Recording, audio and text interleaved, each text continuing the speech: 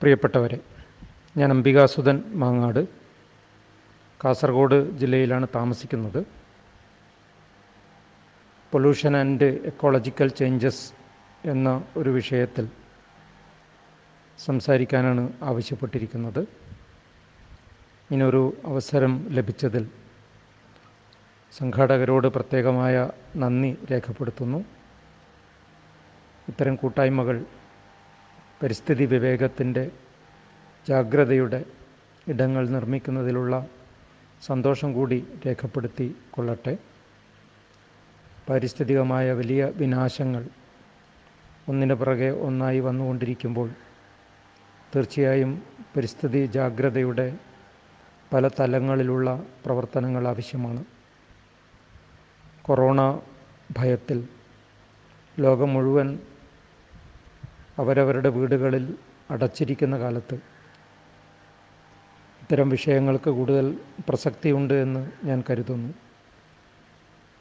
മനുഷ്യൻ വന്യപ്രകൃതിയിൽ അന്ധമായി ഇടപെടുന്നതിന്റെ ഫലമായിട്ടാണ് ഇത്തരം വൈറസുകൾ മനുഷ്യനിലെത്തിക്കൊണ്ടിരിക്കുന്നത് എന്നതിന്റെ തെളിവുകളായിട്ടുള്ള ചില പഠനങ്ങളും വന്നുകൊണ്ടിരിക്കുന്നുണ്ട്. അത്തരം വിശദമായ പഠനങ്ങൾ പിന്നാലെ വരട്ടെ. എന്തായാലും മനുഷ്യൻ പ്രകൃതിയിൽ നിന്നും വല്ലാതെ അകന്നു പോയിരിക്കുന്നു. അതൊരു യാഥാർത്ഥ്യമാണ്. പ്രകൃതിയോട് പുലർത്തിയിരുന്ന ഒരു ഭൗമ സദാചാരം അത് മനുഷ്യൻ നഷ്ടപ്പെടുത്തി. പഴയ കാലത്തുണ്ടായിരുന്ന ഒരു പൊക്കിൾ കൊടി ബന്ധം പ്രകൃതിയുടെ ഭാഗമായി ജീവിച്ചതിന്റെ ഒരു തെളിച്ചം മനുഷ്യനെന്നെ നഷ്ടപ്പെടുത്തി കഴിഞ്ഞു. ആ തെളിച്ചം അഥർവവേദം പോലെയുള്ള പഴയ കൃതികളിലൊക്കെ നമുക്ക് തെളിഞ്ഞ് തെളിഞ്ഞ് കാണാം. പക്ഷേ ആധുനിക മനുഷ്യൻ ഭൂമി തന്റെ സ്വന്തമാണ് എന്ന് കരുതുകയും ഭൂമി ഭൂമി തനിക്ക് കൊള്ളയടിക്കാനുള്ളതാണ് എന്ന് തെറ്റിദ്ധരിക്കുകയും തന്റെ അത്യാർത്ഥിക്കുള്ളതാണ് എന്ന് കരുതുകയും ചെയ്തു.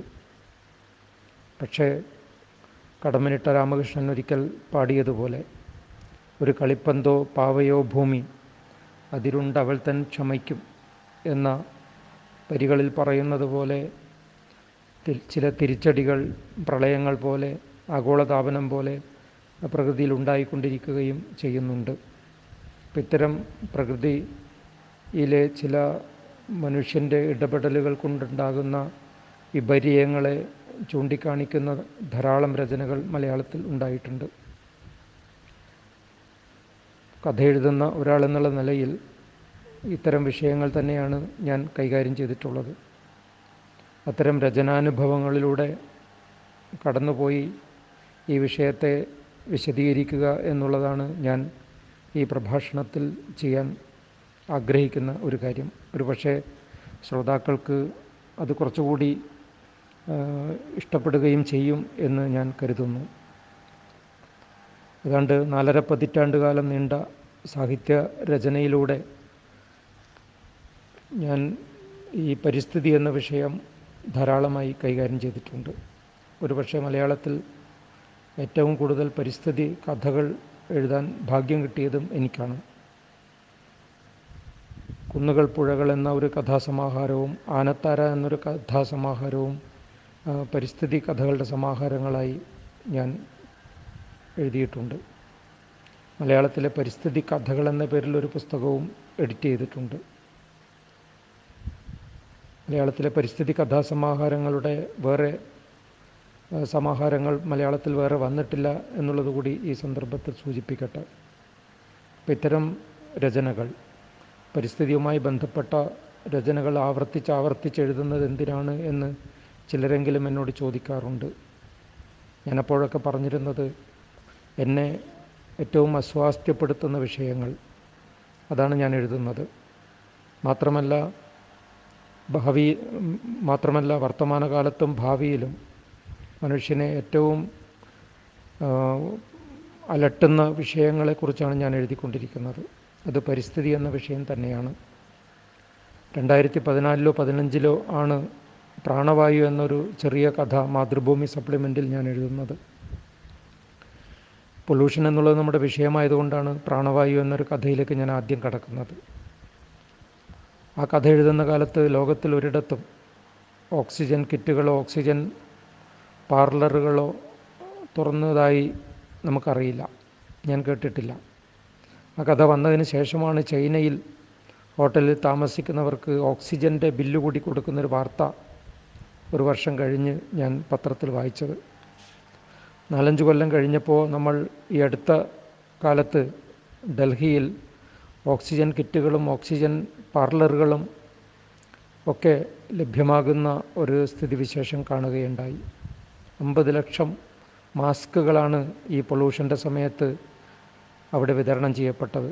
ലോകത്തിലെ ഏറ്റവും പൊള്യൂഷനുള്ള നഗരം എന്ന ഒന്നാം സ്ഥാനം ഇന്ത്യയിലെ ഡൽഹിക്ക് കിട്ടുകയും ചെയ്തു. മറ്റു പല നഗരങ്ങളും പിന്നിലായിട്ട് വരികയും ചെയ്തു.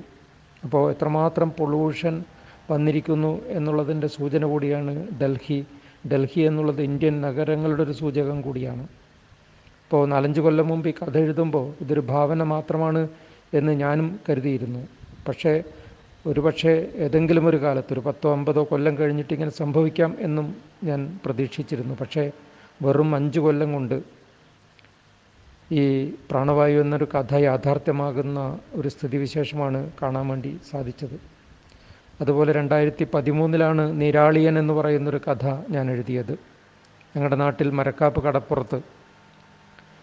അവിടെ ഒലീവ് റെഡ്ലി വിഭാഗത്തിൽപ്പെട്ട ആമകൾ മുട്ടയിടാൻ വരുന്ന സ്ഥലമാണ്. എല്ലാ വർഷവും വരും. അവിടെ ആമ മുട്ടകളെ സംരക്ഷിക്കുന്നൊരു കേന്ദ്രമുണ്ട്. അവിടെ ഞാൻ പതിവായിട്ട് പോകാറുമുണ്ട്. അത് സംരക്ഷിക്കുന്നത് എന്റെ പിന്നെ കുറേ സുഹൃത്തുക്കളാണ്. മിക്കവാറും അവർ പലരും എന്റെ സ്റ്റുഡൻസ് കൂടിയാണ്. അപ്പം അങ്ങനെ ഒരു തവണ പോയപ്പോഴാണ് എനിക്കൊരു വിവരം കിട്ടുന്നത്. പിന്നെ ആമമുട്ടകളെ സംബന്ധിക്കുന്ന അതിപ്രധാനമായൊരു വിവരം കിട്ടുന്നത്. അത് എന്നെ ഞെട്ടിപ്പിച്ചു. കാരണം എനിക്കറിയാത്തൊരു വിഷയമായിരുന്നു. ആമ മുട്ട വിരിയുന്ന സമയത്ത് ആണ് അന്തരീക്ഷത്തിലെ താപനില അനുസരിച്ചിട്ടാണ് കുഞ്ഞുങ്ങൾ ആണോ പെണ്ണോ ആയിട്ട് മാറുന്നത്. മറ്റ് ജീവജാലങ്ങളെ പോലെയല്ല ഗർഭപാത്രം സ്കാൻ ചെയ്ത് കഴിഞ്ഞാൽ കുഞ്ഞ് ആണാണോ പെണ്ണാണോ എന്ന് മറ്റ് ജീവികളിൽ മനസ്സിലാവും. പക്ഷെ ആമയുടെ മുട്ടയെ സംബന്ധിച്ചിടത്തോളം മുട്ട വിരിയുന്ന സമയത്തുള്ള താപനിലയാണ് ആണോ പെണ്ണോ എന്ന് തീരുമാനിക്കുന്നത്. ഏതാണ്ട് ഇരുപത്തി ഒൻപത് ഡിഗ്രി സെൽഷ്യസ് വരെയാണ് എങ്കിൽ അന്തരീക്ഷത്തിലെ താപനില എങ്കിൽ കുഞ്ഞുങ്ങൾ ആൺകുഞ്ഞുങ്ങളായും ഇരുപത്തൊമ്പത് മുതൽ മുപ്പത്തിനാല് ഡിഗ്രി സെൽഷ്യസ് വരെയാണെങ്കിൽ കുഞ്ഞുങ്ങൾ പെൺകുഞ്ഞുങ്ങളായും പറക്കുമെന്നാണ് സയന്റിസ്റ്റുകൾ അന്ന് വെളിപ്പെടുത്തിയത്. ഇരുപത് മുപ്പത്തിനാല് ഡിഗ്രി സെൽഷ്യസിലും കൂടുതലേക്ക് പോയാൽ ആമമുട്ടകൾ ചീഞ്ഞു പോകും എന്ന ഒരു ഞെട്ടിപ്പിക്കുന്ന വിവരം കൂടി പറയേണ്ടായി. അതെന്നെ വല്ലാതെ അസ്വാസ്ഥ്യപ്പെടുത്തി. കാരണം ഈ ആമകൾ ഉദയം ചെയ്തത് ദിനോസറുകളുടെ കാലത്താണ്. ഏതാണ്ട് ഇരുന്നൂറ് കോടി കൊല്ലം മുമ്പാണ്. മനുഷ്യനുണ്ടായത് വെറും ഒരു ലക്ഷം വർഷം മുമ്പാണ്. അപ്പോൾ ഒരു ലക്ഷം വർഷം മുമ്പുണ്ടായ മനുഷ്യൻ ഇരുന്നൂറ് ലക്ഷമല്ല ഇരുന്നൂറ് കോടി കൊല്ലം മുമ്പുണ്ടായ ആമ എന്ന് പറയുന്ന ഒരു ജീവി വംശത്തെ താനുണ്ടാക്കിയ ആഗോള താപനം കൊണ്ട് ഇല്ലാതാക്കുന്നുണ്ടെങ്കിൽ പ്രകൃതിക്ക് ഉണ്ടാകാൻ പോകുന്ന നഷ്ടം എത്ര ഭീതിതമായിരിക്കും. ഈ അസ്വാസ്ഥ്യമാണ് നീരാളിയൻ എന്ന് പറയുന്നൊരു കഥ എന്നെക്കൊണ്ട് എഴുതിച്ചത്. ചില നിരൂപകർ ചൂണ്ടിക്കാണിച്ചതുപോലെ ഇന്ത്യയിൽ തന്നെ ആഗോള താപനത്തെ സംബന്ധിക്കുന്ന ആദ്യത്തെ കഥയായിട്ട് രണ്ടായിരത്തി പതിമൂന്നിൽ പബ്ലിഷ് ചെയ്ത ഈ കഥ ചൂണ്ടിക്കാണിക്കപ്പെട്ടിട്ടുണ്ട്. അപ്പോൾ ഇത്തരം കഥകളിലൂടെ ഇത്തരം ധാരാളം കഥകൾ രണ്ട് മത്സ്യങ്ങൾ എന്ന കഥയായാലും ചിന്നമുണ്ടി എന്ന കഥയായാലും മാനത്താര എന്ന കഥയായാലും ഉതുപ്പാന്റെ കുന്നായാലും പുഴജീവിയായാലും മറ്റൊരുപാട് കഥകൾ നിരവധി കഥകൾ. ഇത്തരം പാരിസ്ഥിതികമായ പ്രതിസന്ധികളെ സൂചിപ്പിക്കാൻ വേണ്ടിയിട്ടാണ് ഞാൻ എഴുതിയിട്ടുള്ളത്. നിരാളിയൻ എക്കോളജിക്കൽ ചേഞ്ചസ് എപ്രകാരമാണ് മലയാളത്തിൽ കേരളത്തിൽ മാത്രമല്ല ലോകത്തിലാകമാനം വരുന്നത് എന്ന് സൂചിപ്പിക്കുന്നു. അതുപോലെയാണ് പിന്നെ മറ്റൊരു കഥ.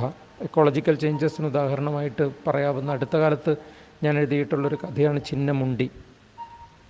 ചിന്നമുണ്ടി എന്നുള്ള കഥയിലും എന്റെ നാട്ടിലെ യാഥാർത്ഥ്യം തന്നെയാണ് പറയുന്നത്. മരക്കാപ്പിലെ തെയ്യങ്ങളും രണ്ട് മത്സ്യങ്ങളും അതുപോലെ നീരാളിയനും ഒക്കെ ഇറങ്ങേറിയ ഈ തൈക്കടപ്പുറം എന്ന് പറയുന്ന മരക്കാപ്പ് കടപ്പുറത്താണ് ഈ കഥയും അരങ്ങേറുന്നത്. അവിടെ പൈനാടൻ വിത്ത് അന്വേഷിച്ച് പലപ്പോഴും പോയ സമയത്ത് വയലുകളിലൂടെ നടന്ന സമയത്തുണ്ടായ ഒരു അനുഭവമാണ് ഈ കഥ എഴുതാൻ പ്രേരിപ്പിച്ചത്. അപ്പോൾ ഈ കഥയിൽ ഞാൻ പറയുന്നൊരു വിഷയമെന്ന് പറയുന്നത് നമ്മുടെ പരിസ്ഥിതിയിലേക്ക് പ്രകൃതിയിലേക്ക് ധാരാളം അധിനിവേശ സസ്യങ്ങളും ജീവികളും മത്സ്യങ്ങളും മറ്റും വരുന്നുണ്ട്.